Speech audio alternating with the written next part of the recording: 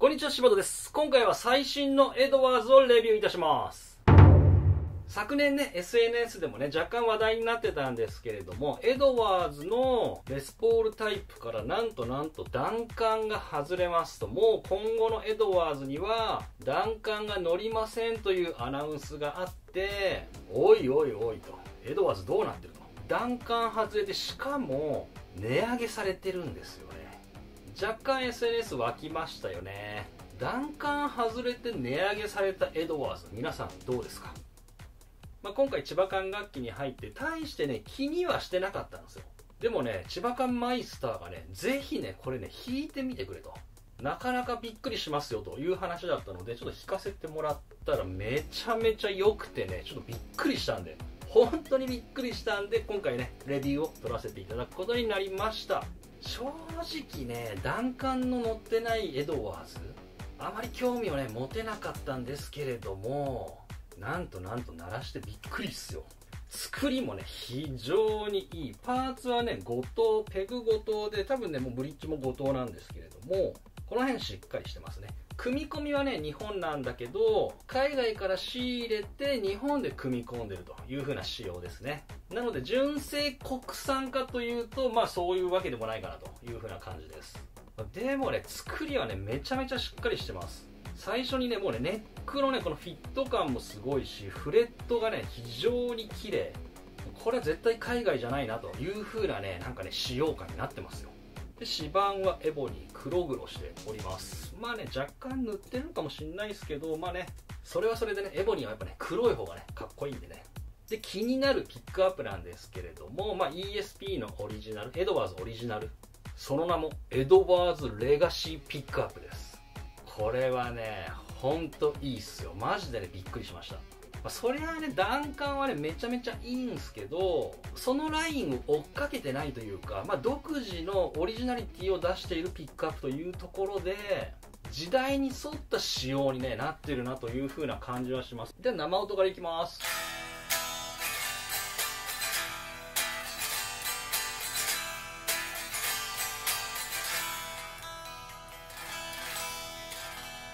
国産よりは重心低めっすよね。パシャパシャしすぎてない？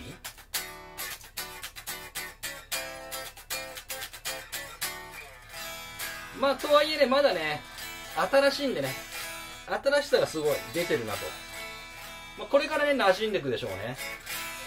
ではクリーンいきます。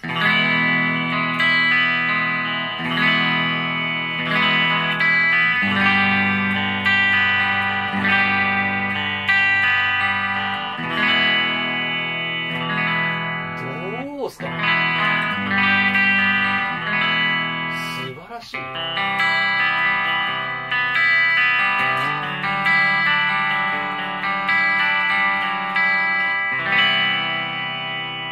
どうですこれ。ミックス。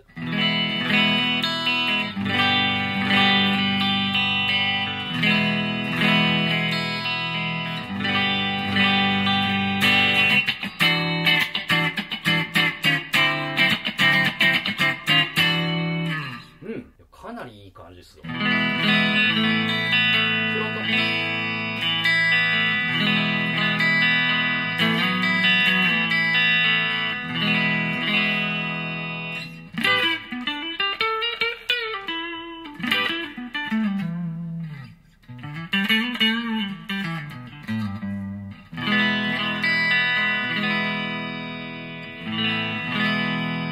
出力もねちょうどいい。これ絶対ラインでもいい音しますねでネックの作りが非常に素晴らしい。いやーほんとね申し分ないっすね。クリーンもこんだけ綺麗なんですけれどもなんとねエフェクターのノリもねめっちゃいいんですよ。本当ねここ最近弾いた中でね一番の衝撃だったかもしれないです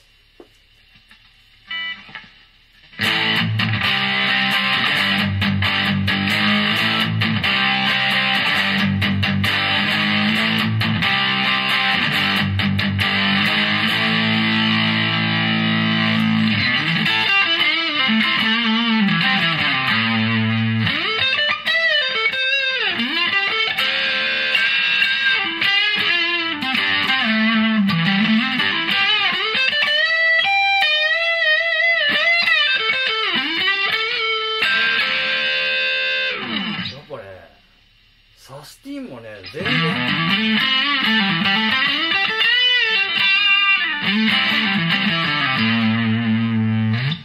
全然いいっすよね。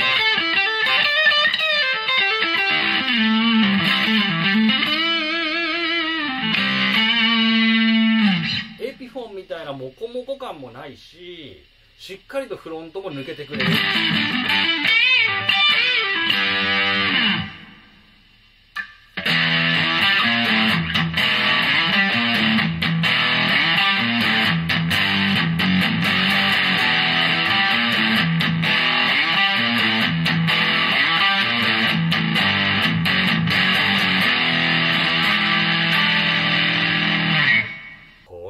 ねなかなかの衝撃ですね。重量はね4.3で重いんですけれどもバランスがね非常にいい。こういう状態でもどっちにも落ちないっていうね。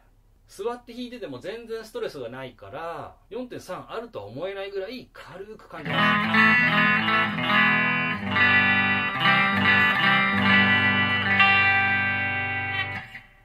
じゃあオーバードライブでねボリュームの追従性いきますかね。